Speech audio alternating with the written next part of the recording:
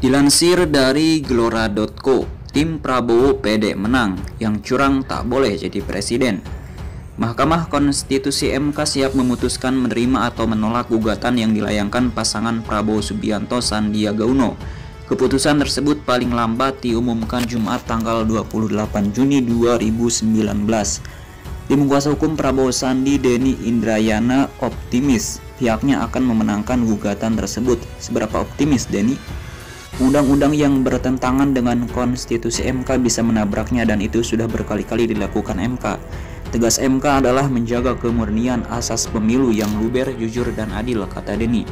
Denny yang pernah menjabat Wakil Menteri Hukum dan HAM itu menyampaikan langsung kepada tim belak-belakan detik.com.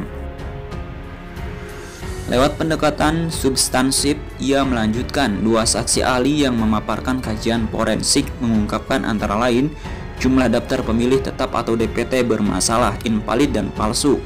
Menurut Denny, jumlah DPT terus berubah bahkan ketika waktu pencoblosan telah lewat sebulan jumlah DPT masih terus mengalami perbaikan.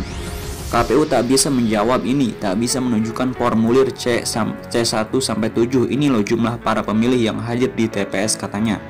Sebaliknya, pihak KPU Bawaslu dan Kubu Jokowi Haji Maruf Amin mem mempertahankan diri lewat pendekatan pro prosedural tanpa menyentuh masalah. Pendekatan ini mendapatkan sokongan dari saksi ahli Profesor Edward Edi Omar Sarip Hiaris.